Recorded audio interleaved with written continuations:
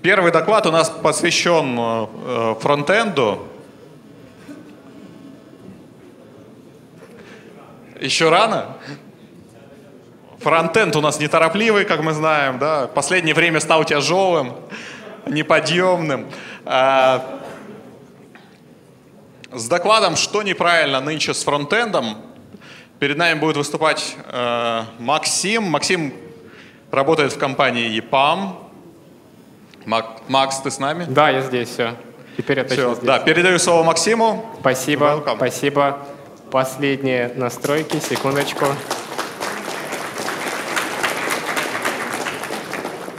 Так, да, как сказали, меня зовут Максим. Я здесь уже э, не первый раз, второй. Э, выступал я на прошлом SyncPHP, рассказывал про э, GraphQL. Э, мне показалось, что вам было интересно.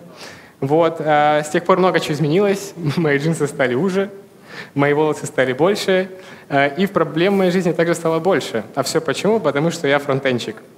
Вот, все меняется, все течет, а фронтенд быстрее всех.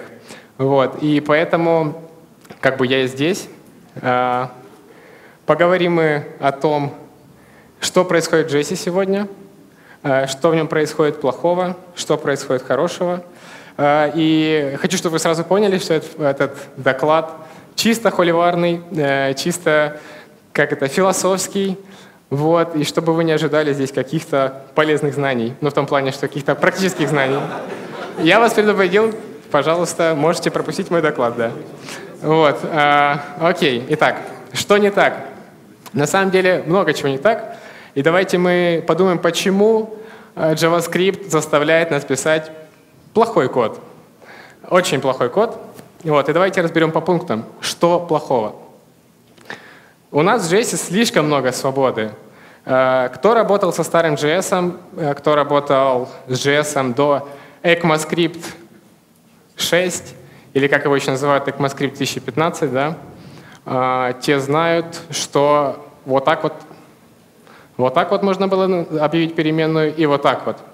И это такой пример, который самый банальный, э, и который показывает в то же время, насколько все плохо было. Было плохо. А, Слишком много у нас было архитектурных подходов. Мы могли писать MVC, могли писать MVVM, могли просто нафигачить кода на страничку в HTML, смешать это все, написать inline-обработчиков, и все работало. Все было окей. Вот. А, Мы писали просто inline-код, скрещивали пальцы и пихали это в продакшн. Monkey или Students Work, когда мы отдавали слишком много работы э, по фронтенду фрилансерам.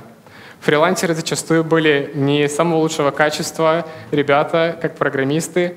Может, они как люди хорошие, но программисты были из них не очень, и они писали плохой код. И этот код было архисложно поддерживать, его архисложно было фиксить. Вот, и мы когда пытались с этим справиться, но у нас не получалось, мы переписывали все заново. И как бы это повторялось вновь и вновь.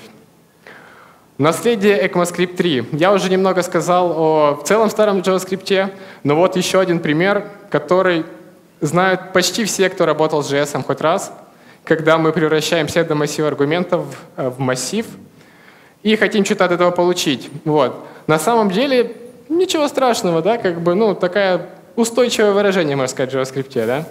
Но, блин, чувак, который придет из другого языка, он посмотрит на это такой, что вообще? Что? Ну, то есть вообще непонятно, по-моему, что здесь происходит. Поэтому как бы такие штуки их, их было очень много в JS. Почему в 2017 мы до сих пор думаем, что у нас что-то не так э, с фронтендом? Что вообще дает нам эти признаки, да? Здесь у меня есть видосик, но у нас возникли, возникли технические неполадки, поэтому мы просто его посмотрим, но мы его не услышим, да? Итак, что не так с JavaScript?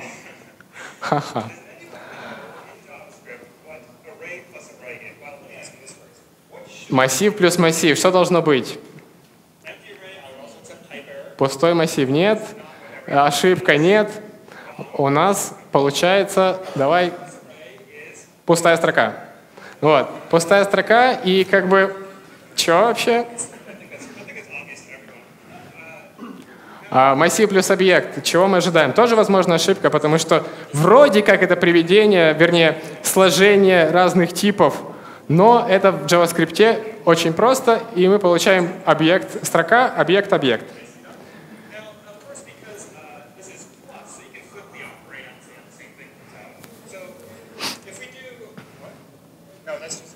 Объект плюс массив. А, ожидаете, наверное, такой же результат, правильно? Но нет, это ноль. JavaScript, привет. А, блин, мне, наверное, засудят после этого, потому что это видео другого девелопера, но ну ладно. Окей, а, объект плюс объект. На самом деле это не очень, э, не очень правдиво, потому что я пытался это воспроизвести, мне не получилось. Серьезно, на всех версиях JS нет, это не работает сейчас. Да, но это, это от автора.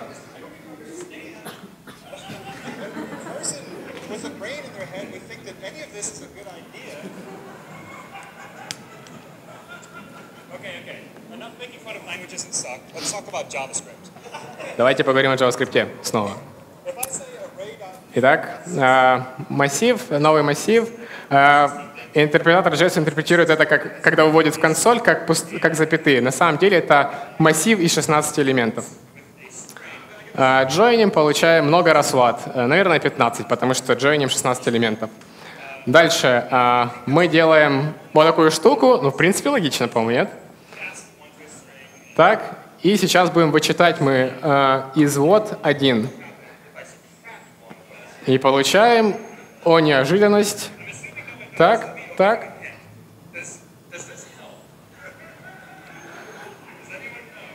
Парень развлекается. Получаем на на на на на Бэтмен. Вот так вот. JS крутой. А, да, тут прикольные картинки дальше. Вот, то есть, э, да, JS, э, JS, он... Так, что это? Да, э, да, это был знаменитый видосик, кто не видел, советую посмотреть, погуглите вот JS, там будет в начале про Ruby, я этот часть попытался вырезать, я просто монтажер от бога.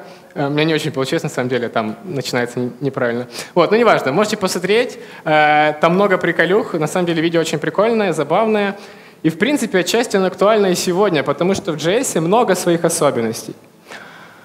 Итак, что еще у нас плохого в JS? Почему мы думаем, что JS в 2017 плохая штука? Ух, чувствую, меня побьют сегодня после этого выступления, потому что большинство из вас здесь бэкэндеры, да? Но на самом деле я не хочу вас обидеть. Я просто говорю, что если вы хотите педалить фронтенд, а, вы должны быть не бэкэндерами, а фуллстак разработчиками. И вы должны учить фронтенд язык, то есть в данном случае это JS, так же, как вы учили свой бэкэнд язык, на котором вы педалите в основное время. Вот, потому что JS — это отдельный независимый язык со своими особенностями. И когда вы говорите, что, боже, JS такой конченый, по сравнению с чем он конченый? По сравнению с вашим языком? Но это ваш язык, как бы, да? Вы учите новый язык, принимайте его таким, какой он есть. Э, и то есть вы, вы, вы не, должны, не должны пенять на язык, вы должны учиться, вы должны, чтобы педалить на каком-то языке, вы должны его перед этим выучить, а не так, что «О, классно, иду на Stack Overflow, решение своей задачи, готово». Нет, так это не работает. Тихо.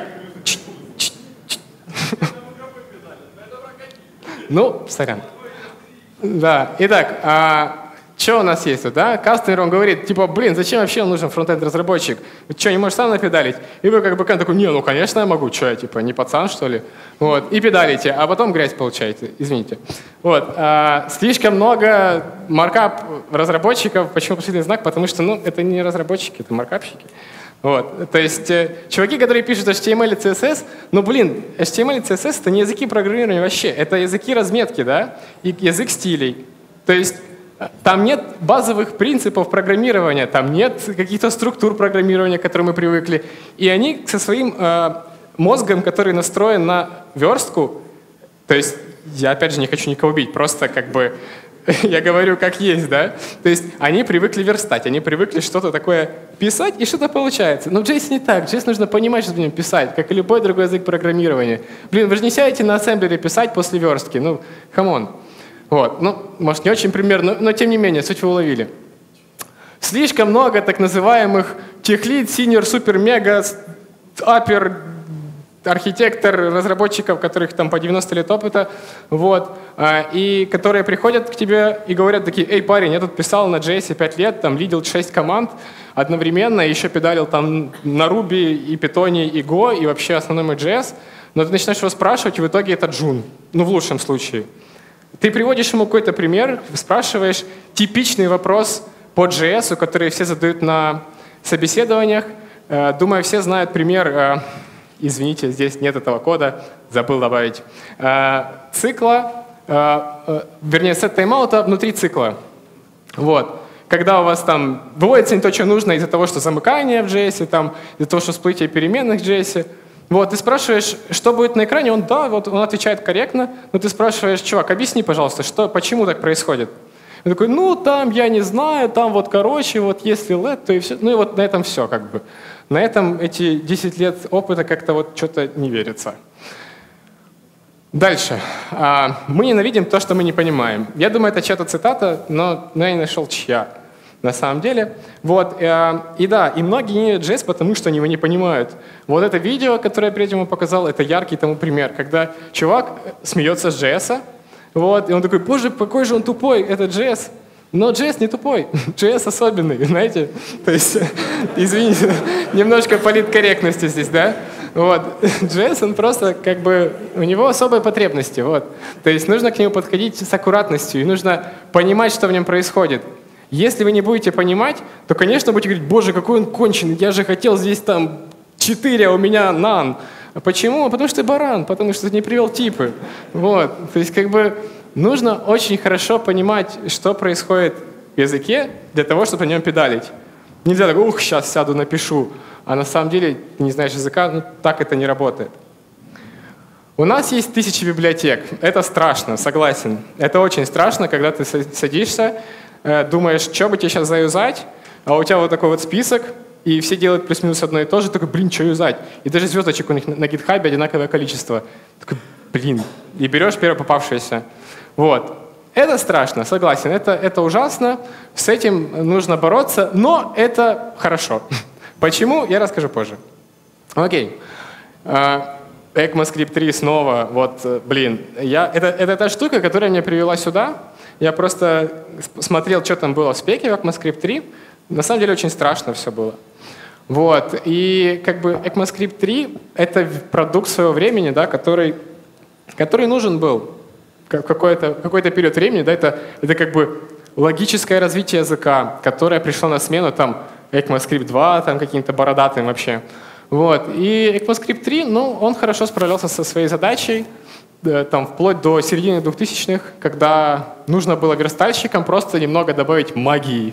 Вот. Он успешно с этим справлялся, да, там, какую-то картинку передвинуть по клику, еще что-нибудь, там, добавить, ну, блуров не было тогда еще, окей. Какие-нибудь, короче, красивости добавить.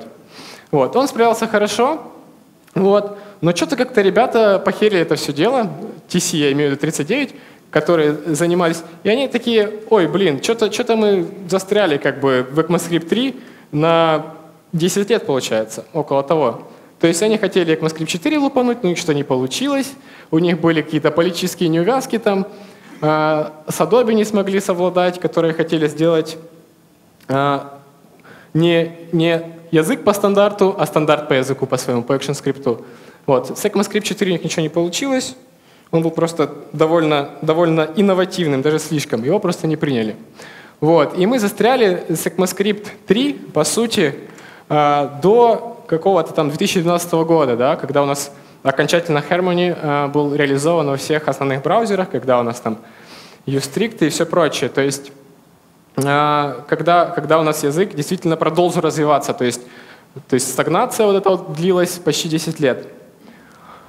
Ну и да, нельзя не вспомнить про Internet Explorer, который просто сломал тысячу судеб, да? то есть э, который просто, просто не браузер. Ну то есть да, он был крут, когда-то это был лучший браузер, но, извините, не сейчас. Вот. Итак, давайте попробуем разобраться, что же можем сделать, да, чтобы наша жизнь стала чуть проще, чтобы нам жить стало проще. Одно и то же, да? Ну, в общем, а, да, что же можем сделать сейчас с нашим JS, с нашим фронтендом, и какой можем лепту мы внести в то, чтобы сделать вещи немного попроще. Что же, давайте попробуем разобраться, что происходит в нашем вот видео. А, ой, извините. А, первое, что у нас было, это массив плюс массив, пустые кавычки. Если вы почитаете спецификацию JS, то там черным по белому написано, вроде белый сайт, да? А, по белому написано, что при приведении типов а, массив, то есть, то есть да, наш бинарный оператор суммирования, плюсик, да, он что делает? Он складывает либо два числа, либо конкатинирует строки. Вот. Либо же, если он унарный, то он приводит к, числ к числовому значению строку. Или boolean. Ну или что бы там ни было, да, что у нас может быть еще. Вот. В данном случае э, у нас массив, когда приводится к примитиву, он приводится к пустой строке. Пустая строка плюс пустая строка, вы отгадайте, что будет? Правильно, пустая строка. Дальше. Нет, не две пустые строки. Вот. Э, пустая строка плюс объект равно object-object. Та же билиберда, только здесь у нас объект приводится не к пустой строке, а приводится к э, вот такой вот строке object-object. Где там лазер? Вот, да. Вот здесь интересная ситуация, согласен, и очень неочевидная. Здесь э, интерпретатор понимает вот эти вот скобочки не как объект, а как пустой блок кода. То есть все равно, что если бы мы здесь ничего не написали, да, не было бы у нас этих скобочек, у нас бы остался только плюсик и массив, пустой массив. Пустой массив в данном случае у нас приводится к элементарному типу. Это пустая строка. Но вспомните, э, плюсик у нас, когда э, он унарный, а здесь он унарный, потому что это пустой блок кода, он унарный, и он приводит строковое значение к числовому. А пустая строка, если мы приводим ее к числовому значению, получается нолик. Вот и вся магия. Боже, да что не так? Вот, э, пустой объект плюс пустой объект none, вообще не понимаю, как это получилось у автора. Я же говорю, я попробовал это, блин, во всех нодах, которые можно было поставить. Э, то есть э, в старых версиях языка с use без use у меня такой результат не получился. Не знаю, если у вас получится, пожалуйста, на Explorer? ну, может быть, мне нет Explorer, сорян, блин, надо будет поставить. Нет. Ладно. Вот. А, дальше. Что он дальше нам показывает? Показывает нам дальше Array 16, то есть, боже, во всех доках, во всех спеках написано, что э, конструктор array возвращает нам пустой массив. Пустой массив, э, ну вот вам пустой массив, который представляется как строка с 15, 16, 15, 15 запятыми. Вот. По-моему, довольно очевидно, если вы хоть раз читали доку по JS. Array то же самое, э, функция, метод, вернее, join, что он делает с массивом? Он объединяет массивы, массив, э, элементы массива в строку с вот этим вот раз, разделителем, да, э, словом вот в данном случае, и у нас получается 15 раз вот. Вот плюс один, помним, что, да, если у нас знак плюс, то он интерпретируется в данном случае как кон знак конкатенации, и единица здесь приводится к строке, вот, JS довольно умный в плане приведения типов, ну, относительно, да. Вот, э, и а, здесь у нас получается 15 раз строка вот и один. А, ну, да, он-то умный, но вычесть из строки число он не может. Покажите мне, кто может. То есть, что? Но на самом деле, что, что еще можно было ожидать, когда вы читаешь из строки число? None, понятное дело. Not a number, все нормально. Вот. Много странных штук, но важно помнить, что JS — это все-таки независимый язык, который, в нем много особенностей, возможно, больше, чем в других языках. Но, блин, попробуйте сесть и сходу напедалить что-то на Go. Там много тоже своих особенностей. Блин, он, он, он другой, он, он реально отличается, у него много фишек — я не знаю, если, если, если вы считаете, что как бы JS странный, окей, но он такой, какой он есть, и, пожалуйста, учите его, а не просто ругайтесь. Вот. Как мы можем сделать использование JS проще? Избавьтесь от jQuery. Вот серьезно, прямо сейчас. Возьмите и избавьтесь от jQuery, потому что, да, я люблю jQuery в каком-то смысле. Я ее люблю и ненавижу, да, потому что jQuery крутая штука как для ну, может быть, 2010, 2011, 2007 года, да, там это было круто, потому что JS был э, плох, откровенно плох, и его не хватало. В момент, когда был ECMAScript 3, мы очень много чего не могли делать, э, того, что позволял делать jQuery. По сути, Он делал много грязи под капотом, но он эту грязь от вас как-то инкапсулировал, вы ее не видели, и вы такие, ну вот хочу его, типа этот элемент из дома. Вот. И jQuery вам его давал просто одной строчкой. Вы писали доллар, скобочки, селектор, все у вас есть. Сейчас в JS есть все то, что проводил когда-то jQuery. Вам не нужен jQuery. Просто, пожалуйста, возьмите и удалите его со своего кодбейза, выпилите с сайта, замените все на то, что как бы у вас есть из коробки в JS. Не нужно просто продолжать это насилие, маховик раскручивать дальше. Не надо. А, в общем, да, JS может все то, что раньше мог jQuery, но не мог JS, но теперь JS молодец, а jQuery пора пока.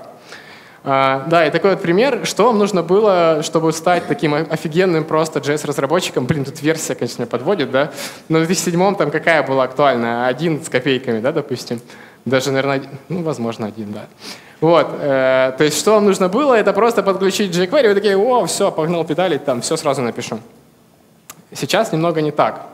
Э, в 2017 вот вы начинаете такие, оп, сетапить CBN, и у вас тут просто тысячи, извините, всяких разных штук нужно, потому что вам нужно бабель, чтобы э, самые последние фичи JS юзать. Но, в принципе, если вы педалите под последние браузеры, то можно бабель все вычеркнуть. Вам нужно собрать все как-то протестить, возможно, вам нужен какой-то либо какой-то фреймворк, и все это. Ну, то есть тулзов, тул, тулзовин очень много и вам нужно все их хоть немного понимать, что это такое, если вы хотите педалить на JS.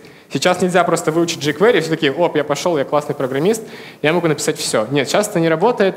Нужно чуть-чуть разобраться с тем, как это все работает, и просто, просто разобраться, да. То есть когда вы в PHP, я не знаю, у вас есть тоже какие-то фреймворки, там, которые нужно выучить перед тем, как начать, и сесть и такой, ох, сейчас напишу все. Ну, то есть, как бы, так же и с JS. Да, тулзовен чуть больше, но Сорян. Вот. А как нам бороться с а, наследием бэкэнщиков, да, которые, который, которым пришел кастомер и сказал, давай, теперь ты будешь писать еще и фронтенд. На самом деле никак, просто нанять фронтенщика, умолять своего кастомера, чувак, ну нам очень нужен фронтенщик, потому что сейчас фронтенд сложный, сейчас нельзя просто сесть и написать все на jQuery. Вот. Вам нужно просто... Или, или же, если такой возможности нет, то, пожалуйста, выделите день, хотя бы прочитайте Learn JavaScript Ru, который вам расскажет о базовых особенностях JS. Э, все доступно, как бы. Не нравится на русском читать, погуглите на английском, боже. И, то есть просто разберитесь э, со своим инструментом, с которым собираетесь работать. Ну, то есть JS — это не iPhone, который ты достал и все, как, как завещал Джобс, да, там, достал из коробки и пользуешься. Нет. JS нужно чуть-чуть уделить время, нужно почитать инструкцию. То есть, ну блин, вы программисты, вы получаете много денег. Come on. Нужно что делать. Вот. Э, markup. Э, наследие маркапщиков. Плюс-минус то же самое, но тут не получится сходу научить маркапщика быть программистом, потому что ну, совсем другие задачи, задачи он выполняет. Вот, э, и вам нужно скорее тут уже все-таки на колени упасть к просить, Боже, пожалуйста, пожалуйста, дай нам фронтенщика, потому что ну, так просто сесть маркапщику и прочитать отличие э, JS от HTML, типа, ну это как, э, чем отличается слон от воды, да, ну как-то так. Вот. Плохой пример, извините. Вот, э, да, если невозможно э, упросить кастомера, если невозможно найти фронтенщика, значит, сами становитесь фронтенщиком. Это мой совет. 100 500 библиотек — это неплохо. Это круто, потому что в конце все-таки выкристаллизуется несколько библиотек, которые станут э, общепринятыми.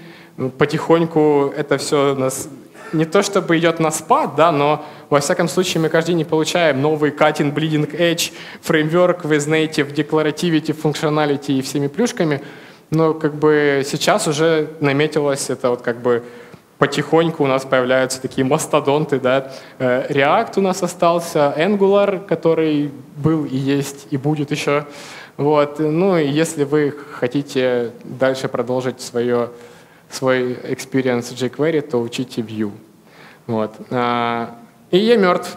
Все, до, до свидания, можем ему сказать. И как бы, а, если, а, в общем, если у вас нет э, запроса от кастомера поддерживать IE, то забудьте о нем вообще, все, нет его больше. Есть Edge, он много лучше, он э, прям на порядок лучше, чем то, что было до.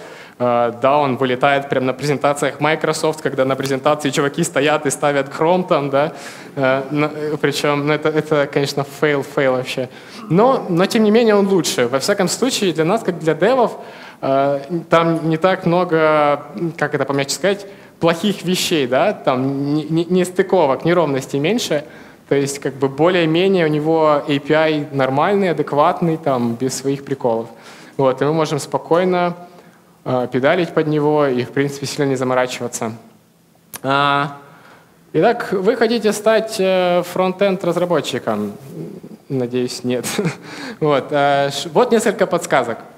Э, выучите синтаксис JavaScript. Вот серьезно, первое, что нужно сделать, это выучить синтаксис, потому что он другой, принципе, в том плане, что другой, он не такой же, как в каком-то другом языке. Он реально отличается от многого, чего вы знаете, да, если вы там на PHP пишете много отличий. Вот. Э, ну, это же логично, да, другой язык. А, выучите основные все штуки, которые в нем есть. Э, Выучите, как правильно строить архитектуру. Да, там много подходов, но выберите один, который вам больше нравится, и поймите, как его правильно делать в JS. А, поймите, как э, правильно писать код, какой код стайл принят. То есть в JS как такового нет, наверное, одного, но есть основные, есть от Google, есть от Airbnb правила написания, именно, именно как вы должны отступы делать, да, там запятые, где вы должны ставить, точки запятыми, ставить, не ставить. То есть как бы начните писать хотя бы по какому-то код стайлу, а не просто вот мне так захотелось, здесь я поставил точку запятую, здесь не поставил. То есть это очень режет глаз, я думаю, вы это знаете. А, Посмотрите best practices. JS очень популярный язык. Популярность он сейчас э, в двойке лидеров, да, он тягается в тройке, окей, с Java, с PHP, наверное, и вот JS, да, втроем они там все как-то перетягивают друг на друга одеяло, кто же, кто же круче. Вот, э, и кто популярнее. То есть best practices очень много. Stack Overflow, большая часть всех вопросов это именно JS. Э, и то есть там очень много примеров и по старому JS, если у вас есть какой-то legacy код, и по-новому, если еще собираетесь писать. Э, куча, куча статей, куча метапов проходит, куча вообще, на самом деле, в чем прелесть? Вы как php тоже это знаете, что сорцы э, всегда вы можете найти, да. А в JS так это вообще, то есть вы открываете браузер, да, там минифицированный код, но в принципе, в принципе можно посмотреть, что происходит под капотом всегда. Вот э, на, на том же GitHub заходите, любую либу смотрите, более-менее популярную, и вы понимаете, как правильно писать код, какие там принципы. В общем-то, источников уйма, как, э, чтобы понять, как правильно писать JS-код. А, попробуйте несколько лип э, и фреймворков, не знаю, Vue, React, Angular, который я сегодня называл. Поймите, что вам больше нравится – а, потому что у всех у них разные принципы, и разберитесь в той, которая вам больше всего понравилась. То есть вы на примере этой библиотеки или фреймворка вы вообще разберетесь с JS, поймете, как строится приложение в JS, и потом перепрыгнуть на другой будет не так сложно, потому что вы поймете JS, изучая фреймворк. Но сначала, сначала первые три пункта, потом уже либо. Вот. А, выберите свой любимый, да, как я уже сказал, и, в общем, копайте. А, и да, поздравляю, вы фронтенд разработчик. То есть не, не, раньше, раньше как было, да? Раньше вот если вы спросили бы в интернете, году так, опять же, в 2010 такие, ну, я хочу стать фронтенд разработчиком. Тебе скажут, окей, учи HTML, CSS, потом давай jQuery, типа, без пункта JS, заметьте. JS вообще как язык не рассматривается. То есть э, это было чисто, чисто такое что-то, знаете, JS, не JS. У меня был даже друг, который говорил, чувак, ну типа скоро jQuery станет отдельным языком. Я такой, come on, как, что? То есть, ну нет, он не стал, да, и как бы очень странное заявление было в силу того, что он был техлидом. Э, JavaScript э, крутой, он rocks отжигает, вот, да, и как бы он развивается сейчас очень активно, и я вам советую следить за ним, потому что все больше и больше решений на JavaScript у нас. Мы уже пишем бэкэнд на JavaScript, мы пишем мобильное приложение на JavaScript, мы пишем десктоп приложение на JavaScript. Боже, мы, мы что там, Arduino, по-моему, да, на ноде крутится? Или Raspberry? Ну, короче, какая-то из этих плат крутится на ноде, вернее, ноды на ней крутятся, и вы можете спокойно педалить даже девайсы, железо можете программировать, блин, с JS. Алло, так что не, не стоит, как бы, поезд уже отъезжает, давайте, запрыгивайте быстрее. Вот, ну, JS. Вот, э, спасибо, спасибо.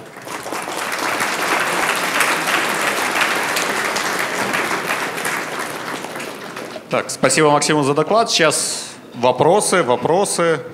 Давайте. Добрый день. А, вопрос следующего характера. А если его начинать изучать JS, да? Да. А, есть такое понятие, как TypeScript, если я не ошибаюсь. Да. И он немножко похож на как это нормальный язык, да, программирования. Вот. Может начинать уже с него или все равно все стандарты идут туда? Окей, okay. а, на самом деле TypeScript, это есть умное слово, это а, супер что-то там, супер какой-то что-то JS, в общем. Супер, боже, забыл слово, серьезно. На самом деле TypeScript тот же JS. На самом, любой JS — это валидный TypeScript. А, и все-таки лучше JS. Почему? Потому что в TypeScript он как бы у него есть, это знаете, как э, ходунки для ребенка. То есть вы залезли в ходунки и типа, ну, нос вы себе не сломаете, потому что поехали, поехали, все нормально, не упадете. А в Джейсе нужно упасть пару раз, набить себе огромные шишки, возможно, пару зубов выбить, шрамы, все дела, и тогда вам вообще ничего не страшно. Хоть TypeScript, хоть вы Flow прикрутите, хоть вы будете nail педалить, вы будете знать особенности JavaScript, и как бы все-таки, отвечая на ваш вопрос, начинайте с JavaScript. TypeScript круто, мне он самому нравится очень сильно. Типизация, все эти дела. Но все же, если вы не знаете JS, то вам будет сложно в TypeScript. Второй вопрос можно быстренько? Э, по фреймворкам Vue, React и Angular. Angular больше на TypeScript он пишется, правильно? Можете React писать на TypeScript а, легко. Вот. А какой бы вы посоветовали для начинающего разработчика? Ну, для начинающего разработчика я посоветовал бы выучить JS на самом деле. Ну, вот. после, него. А, после него, ну это на, на ваше усмотрение. Просто смотрите, раньше было как? Раньше, если ты хочешь найти себе работу, учи Angular. Если ты хочешь найти себе интересную работу, учи React. Никого не хочу обидеть, но, но мне так говорили, да? Вот. И как бы, ну, не знаю, тут, тут на ваше усмотрение. Angular он сложнее в том плане, что больше возможностей из коробки именно. Там он делает все за вас. Он, он сетевые запросы за вас делает все, все, все, все, все, все, все. React — это простая библиотека, которая дает вам возможность работать с домом, не больше. Чтобы заработал React полноценно, нужно накрутить еще кучу библиотек. Какой-нибудь Redux, какую-нибудь штуку для работы с сетью, что-нибудь для, для каких-нибудь анимаций и всего остального. То есть, ну, нельзя так просто ответить. Посмотрите и то, и то, и то, и в конце вы выберете, что вам больше понравится, что вам больше по душе. Ну, Понял, только спасибо. Добрый вечер. В самом начале было сказано, что это чисто холиварный доклад, поэтому да. ну, я решил немножко подкинуть, как говорится, плохого кода на вентилятор. Так вот, было сказано, что мы ненавидим то, что мы не понимаем. Да.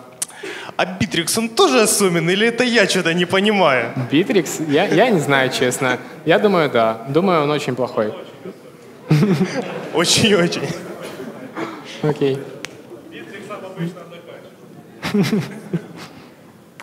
Так, еще вопросы? Сейчас, секундочку. А, так, сейчас.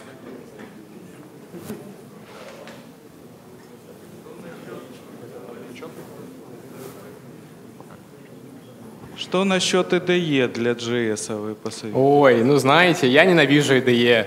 Да простят мне все php WebStorm плохой. ну серьезно, потому что, э, ну не знаю, он слишком тяжелый, и там слишком много избыточного функционала. Я пару раз пытался на, на него подсесть, знаете как. То есть я сторонник все-таки э, э, просто текстовых редакторов. Я сам использую Visual Studio Code, и мне его хватает, ну вот так вот. Я не знаю, для каких целей можно юзать э, WebStorm или какую-нибудь другую IDE. Ну, если говорить об IDE для JS, то это WebStorm. Но я не люблю WebStorm. Вот такой вот ответ на ваш вопрос тут не о чем говорить на самом деле, потому что он один самый адекватный самый популярный. Можно накрутить на Атом, что там есть у них, я не помню, как он называется, какой-то от Фейсбука, в общем, э, набор плагинов для Атома, который делает из него и IDE полноценный. Но не знаю. Еще вопрос? Sublime? Sublime хорошо, но дорого. Вот вопрос. Раз-раз. Добрый вечер, спасибо за доклад. Я, пока ты доклад рассказывал, попробовал объект плюс объект в консоли Internet Explorer 11. Да, действительно, нан. Ну, и я мертв, как я написал. Нет, я еще не мертв. По статистике, все-таки на больших legacy приложениях еще 54-56% E используется. Да, я слышал об этом, но... И еще маленький комментарий к товарищу, который спрашивал, стоит ли учить TypeScript. Э, Стоит учить обязательно JavaScript, потому что рано или поздно тебе придется дебажить свой код. И дебажить придется на JavaScript, увы. Да. Спасибо. Спасибо за доклад. Э, Вопрос следующий. Я не фронтенщик, но есть задача э, стандартизировать разработку на JavaScript. То бишь единые какие-то стандарты написания кода, точки запятой и так далее, вот это все. То есть э, глазками за этим никто следить не будет. Нужно какое-то автоматическое решение, возможно, какой-то помощник. Можете что-то подсказать по этому? А, ну, во-первых, накрутить э, ESLint, э, который будет за этим всем следить на момент разработки. Во-вторых, мы делали как? Мы прикручивали pre-commit хуки, которые перед комитом, перед тем, как, как разработчик делает комит, э, запускается скрипт, который прогоняет весь ваш код, который поменялся, может весь код ваш прогнать. Вот, и посмотреть, если там ошибки стилистические. Э, И если они есть, то просто не произойдет комит. Да, это можно обойти, ну как бы просто удалить этот комит хук, но как бы прям, ну иначе надо просто с палкой стоять над чуваком, который коммитит не, не говнёкой. Вот. А, просто, а, ну а так, да, при, при commit хуки на самом деле много решений на JavaScript, которые даже можете писать не при commit хуки, а писать JS-файлики, скрипты обычные, которые потом соберутся как э, э, на баш, в баш, по-моему, там что-то пере, пере это самое, пере, перекомпилируются вот и эм, положатся сами папочку .git, hooks, прикомит, вот, и будет вам счастье. То есть это на стороне вот разработчика, да? То есть А, ну, это на стороне команды разработки. То есть вы это кладете в ваш э, .git папку, и она потом шарится. Вот, Ну, То есть всё. каждому человеку вручать это там папочку, да? Нет, не вручать, она будет у вас в репозе. На самом деле, она будет даже, не, даже будет не так. У вас будут, JS если вы будете JS-решение какое-то использовать, то это у вас будет э, JS-файлик, который будет лежать просто у вас в репозе, даже не в папочке .git. А просто в репозе у вас будут скрипты, которые будут э, на момент сборки вашего приложения каждый раз пересобираться в папочку git, будут класть вот эти штуки все нужны. Вот, насколько я помню. Хорошо, спасибо большое. Мене чути? О. А у мене не питання, у мене скоріше доповнення. Ще я не спочатку твоєї доповіді, тому може повторюсь. Ти приводив багато прикладів, як, як працює там JavaScript у собі. А, так от, про це все можна прочитати. Є така чудова книжка, називається Speak in JavaScript.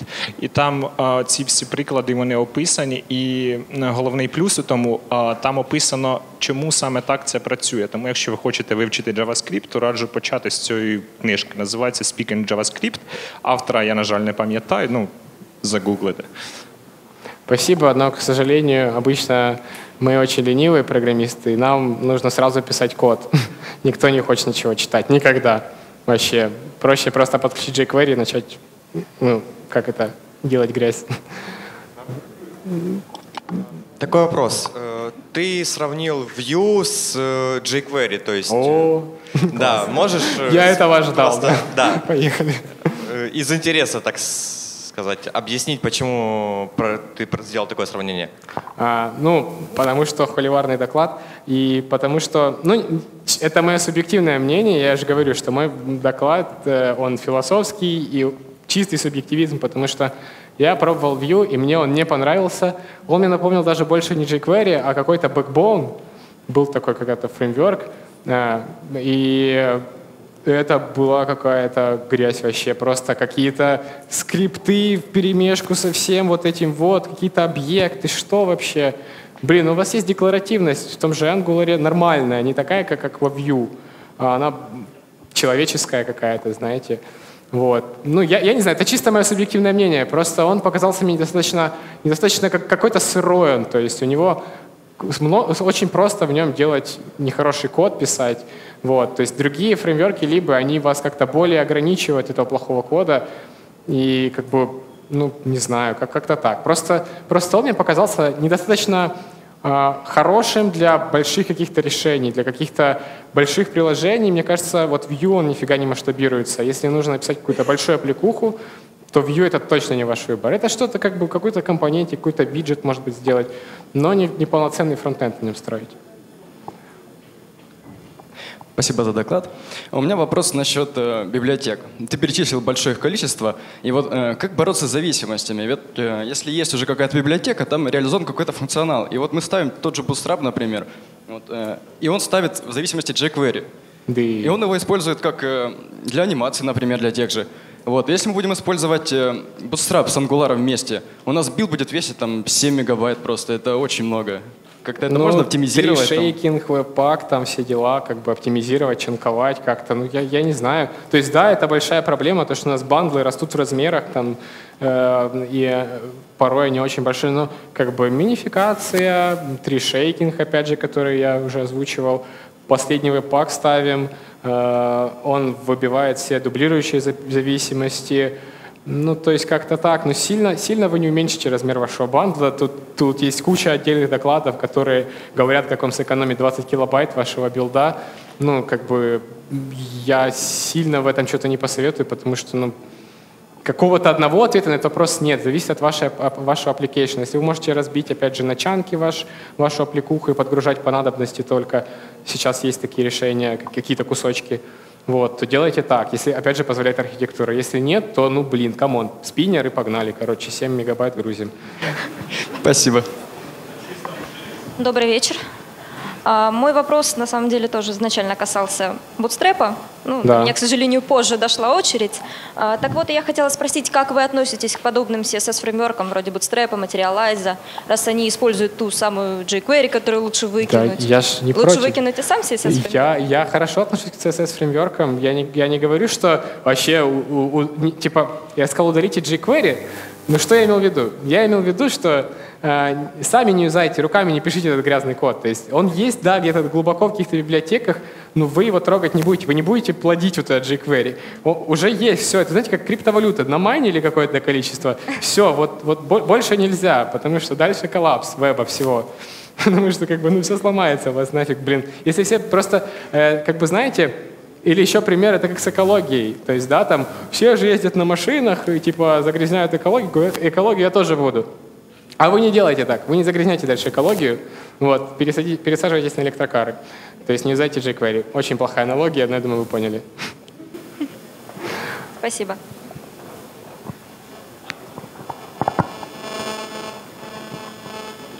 Не слышно. Э, Добрый вечер, Максим. Здрасте. У меня э, вопрос не по фронтенду и вообще не по вебу. Я... Но, но по JavaScript, тем не менее. Да, да. Я программирую железо, там микроконтроллеры, embedded и всякое такое. Вот. И там ассемблер, C, C++, ну такие вещи. Вот. И, в общем-то, JavaScript и туда дотягивается потихоньку. Вот вы там в докладе в своем упомянули, где там Да, краем да. уха я слышал, что это сейчас везде, везде применяется. Ну, поскольку вы работаете в большой компании, может быть, вы слышали о таких примерах вот, э, применения. Если можно, скажите. Примерах применения. У нас в одном из офисов э, есть метеостанция, по-моему, на Ардуинке. Вот. Э, и мы как бы э, меряем температуру в офисе. Вот. Ну, это такой pet project совсем, то есть у нас как бы в рамках нашей компании ну, это такой при- пример, да. Ну, понятно, но Каких-то там, продуктовых примеров, честно, я не знаю. Понятно. То есть, Но там, по крайней мере, там используется как-то JavaScript, нет? Конечно, на Да? ноде все, нода. М. Node.js. Понятно, ну, можно. Спасибо. По очереди. По очереди, по очереди. Добрый вечер. У меня два вопроса. Первый вопрос про инструменты тестирования JS. В принципе, все, что я знаю, это в Selenium запустить его или просто в браузере запустить. Что вы можете подсказать, как более опытный? Окей, окей. Вы имеете в виду end-to-end тестирование или юнит тестирование? Э, Юнит тестирование, А. ну, тестирование клиентской части. У нас опять же, э, полностью тестирование при- приложения, его работоспособности или э, юнит-тестирование, когда вы тестируете отдельные блоки? Да, мне интересно юнит-тестирование отдельных блоков, но Окей. вот как это делать на JS я не ну, как в представляю. любом другом языке у нас есть библиотеки для этого, э, есть чай. Э, я лично сам юзаю Jest. Это разработка Фейсбука, так как я сам работаю с React стеком, то для меня Jest это прям очень круто, очень понятный синтаксис, очень наглядно все, довольно быстро. Ну, как бы, на самом деле, тулзовин много, как для всего остального в JS. Для каждого кейса есть миллион решений, да, от любой компании. Есть там супермодная Ava еще какая-то. Тоже ее немного использовал, тоже прикольно. Но в чем преимущество Jest? То, что это все из коробки, вы достали его, поставили, все у вас работает. Остальные штуки все нужно конфигурировать. Тот же чай, его нужно там еще мока, там еще нужно еще какие-то штуки, каких-то куча, куча всего нужно собрать, компонентов, э, сказать, где у тебя э, вообще так как мы не можем это делать в браузере, мы вообще там можем, но быстрее делать это все-таки в терминале и в памяти, да. Вот, поэтому мы делаем э, виртуальный браузер, запускаем, тот же какой-нибудь фантом в памяти запускаем. Вот, э, и как бы вот это все, это все нужно наконфигурить. У Jest это все под капотом, вы просто скачали его, минимальная конфигурация там буквально в 10 строк, все, готово. Ну, как бы... Спасибо за рекомендацию, попробую обязательно. И второй вопрос, а где вообще брать JS фронтендеров? То есть приходят либо верстальщики, которые знают jQuery, либо пока они разберутся в Angular, React и прочих современных инструментах, они уже становятся full stack разработчиком и пилят на ноде. То есть ну, как бы вытесняют нас, бэкэнщиков. Я понял. Но на самом деле нода, я думаю, никогда не станет полноценным заменителем PHP того же, потому что это разные вообще весовые категории и разные задачи. Вот. Сегодня будет доклад про асинхронный PHP, как бы послушайте тоже. Вот. Но как бы на самом деле сейчас у нас в компании э, есть юные, именно которые с нуля вот, да, пришли джейсеры, вот они прям джейсеры. Я сам лично пришел из PHP. Вот, я был когда-то, ну, совсем на примитивном уровне, конечно, работал с PHP, вот, но начинал именно с PHP, потом как-то вот случилось так, что оказался в JS, да, вот, э, и ну, на самом деле это просто выглядит, что много-много каких-то решений, непонятных слов, куча библиотек, куча фреймворков. Э, Ну, то есть, э, я не знаю, но когда вы работаете с языком, вы же там не распыляетесь, вы не учите все сразу фреймворки, которые есть в этом языке. То есть обычно это либо по надобности... Почему ты так сделал? Э, Либо по надобности, либо же как бы просто вот вам не приходится работать с многими фреймворками. Вы, вы выбираете один продукт, выбираете один фреймворк, как бы да, вы должны знать, что происходит в других, но конкретный у вас должен быть вот ваша сфера деятельности, ваша, ваш основной фреймворк, ваша основная библиотека, с которой вы работаете. Вот, поэтому разобраться на самом деле не так сложно. Поначалу вы юзаете какие-то CLI толзовины по, по типу Angular CLI, ну даже не поначалу, да, там и, и в продакшене спокойно, почему бы и нет. Но вот, поначалу вы знаете готовые, так скажем, пресеты, готовые конфигурации, которые избавляют вас от конфигурирования бабеля, веб-пака того же, TypeScript какого-нибудь подключения. То есть используйте готовое решение, в нем педалите, потом по мере надобности вы просто разбираться начинаете э, с тем, что там происходит под капотом. Вот, то есть э, вы не учите все и сразу, вы учите постепенно, как в любом другом языке. Начать никогда не поздно, если вы об этом, да, то есть добро пожаловать во фронтенд, если что. Вот, но на самом деле, как бы, это, это выглядит ужасно, но э, вам не нужно со старту знать весь бабель и все остальное, пусть оно как-то крутится, а вы потом разбираетесь. Это не очень хороший путь, но им тоже можно пойти, как бы, и это избавит от, от каких-то сложностей в начале, вот, как-то так. Раз-раз. Э, танк или сага, Аксиос или Фетч? Боже, э, ну, Санк это, как по мне, это более простой инструмент, и я люблю более простые инструменты. Сага все-таки она дает э, с ней, честно, вот в продакшене не работал, смотрел на нее, конечно, но насколько я знаю, она там прям делает для вас вообще все. Просто вот все, что связано с синхронностью в реакте, она все это хендлит как-то там. Вот. Я все-таки приверженец того, что все ручками, потому что это потом дебажить проще, в общем, разобраться с этим потом проще, и выпилить потом это проще, как бы, да. Санк выпилили, ну что там, просто нужно будет немного под, под шаманить секшенами, да, сделать их вру- вручную, как бы там немного по- по- по- подкрутить. Вот. Но если э, сагу юзать, то, мне кажется, и потом просто сложнее будет от нее избавиться в случае чего. И быстрый вопрос, а как вы сейчас с Redux пишете? Connect там через декораторы или через хендлеры какие-то? Я пишу по старинке. По старинке, да? Connect и две скобочки, э, четыре скобочки.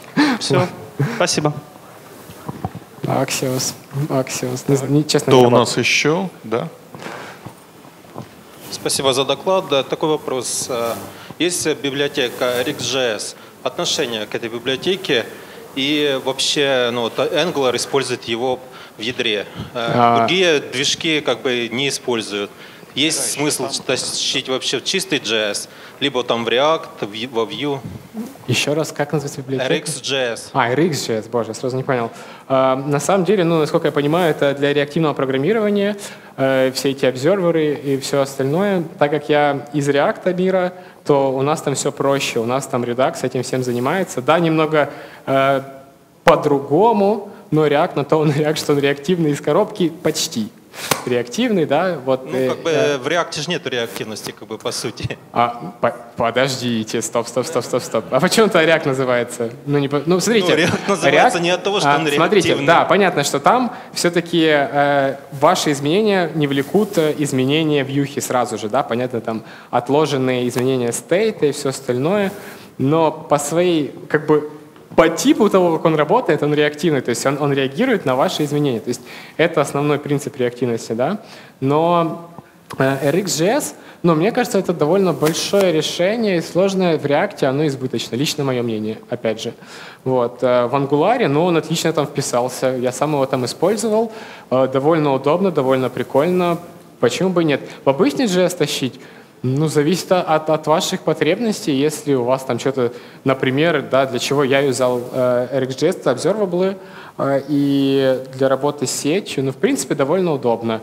Если у вас есть потребность как бы как-то э, ну, то есть в, в- в реактивности, то пожалуйста. Если вы не любите реактивность, или вам она не нужна, то не нужно. Как бы. И, конечно, имеет смысл, если вам это нужно. Вот, вот из ваших нужно исходить, а не так, что да, используйте, нет, не используйте. Я так не могу сказать.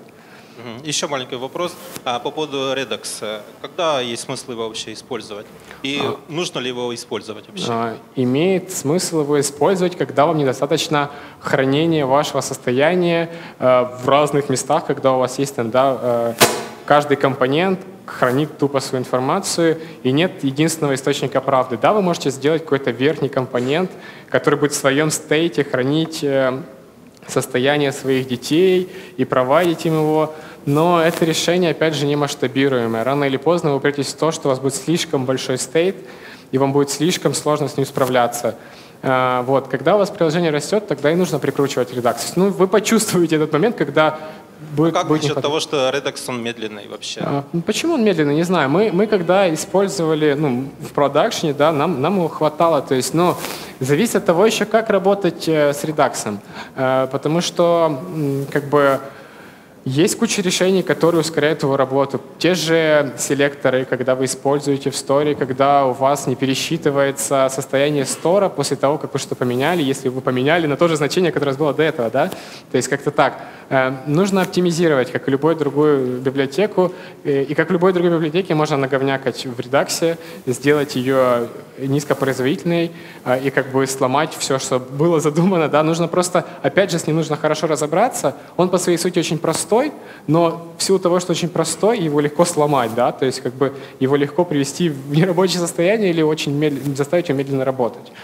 Поэтому, ну, тут я, как бы... я понял. И последнее. Redux или Mobix? А, Я работал только с редаксом, а, вот, и как бы, ну не знаю, просто редакс, э, он простой, как 5 копеек, вот, э, и его можно написать самому просто вот за вечер сесть и написать редакс. Как там MobX внутри устроен, Я в него не лазил, честно, я не могу ничего сказать. Но я знаю, что Redux простой, он проверенный, он поддерживаемый, для него уйма решений, э, уйма библиотек, уйма middleware всяких, которые можно к нему прикрутить и работать спокойно. Плюс он вас ну, не подойдет, потому что его поддерживает Facebook. Вот, на этом, да, вот мой ответ. Так, э, давайте последний вопрос к Максиму. И Добрый вечер, прервемся. спасибо за доклад. Э, Смотрите, немного предыстории. Есть огромный старый проект там, с 2007 года. Э, Под капотом, что на бэке, что на фронтенде, там MES из э, jQuery и как бы вообще никаких фреймворков больше не применяется. Как бы он справляется со своими поставленными задачами очень хорошо, там клиент доволен. Может быть, конечно, не так хорошо, как хотелось бы, вот. И ну, клиент не особо э, хочет там, скажем, внедрять какие-то новые технологии. Отсюда вопрос, как бы у вас был опыт перевода большого проекта там с нуля, там убрать все jQuery вообще, там запилить туда React или Angular, и если да, то как получилось уломать заказчика на такое? Это вопрос на миллион, знаете. Как уломать заказчика выпилить jQuery?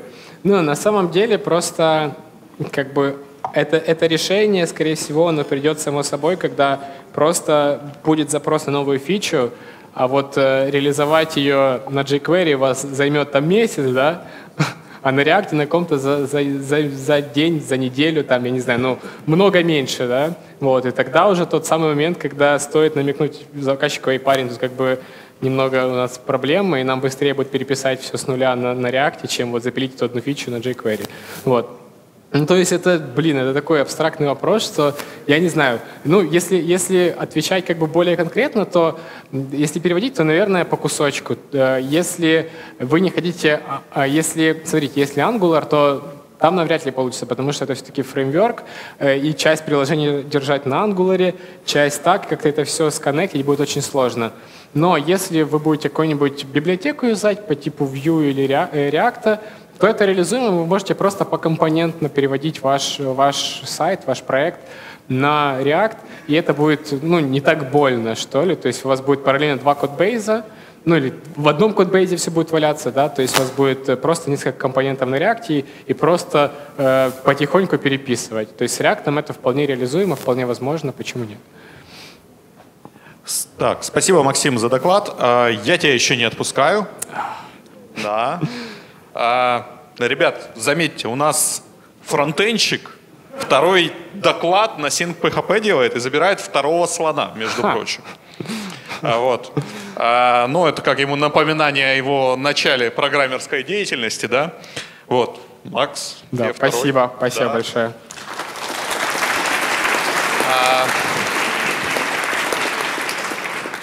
Ну, у меня к Максу последний вопрос. Э, Какой вопрос для тебя самый лучший?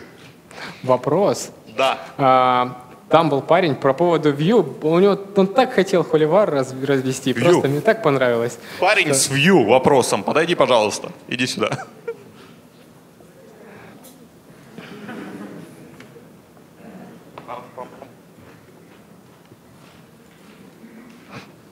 Так, мы тебе, мы тебе такой небольшой комплиментик. Вот, от нашей компании, поздравляю.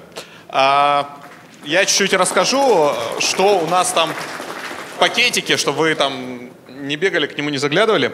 А, с данной конференции мы начинаем вот такие вот интересный презентик, паровозик, да. То есть для тех, кто активен на наших конференциях, у нас же их много, мы проводим не только SyncPHP, у нас также есть Sync.net, iSync, Java, что еще забыл? WordPress, метапы. Так, вот это вот было зря. А? Не, по JS у нас нету, да? Не, ну, собственно говоря, вы когда э, спрашиваете э, о том, где брать фронтендеров, я уже сказал, где он работает, да? А, что еще? Ну, он вообще пришел сюда на конференцию бэкэнщиков и говорит тут нам про фронтенд. Может, да сманил он кого-нибудь в секту свою или нет? Да что ж вы, Уже, блин, да. подыграйте. Ну вот, собственно говоря, он ищет, наверное, фронтенщиков себе. А, хорошо, спасибо большое, Максим, за доклад. А, ребята, сейчас мы прерываемся на кофе-брейк. У вас минут 10-15.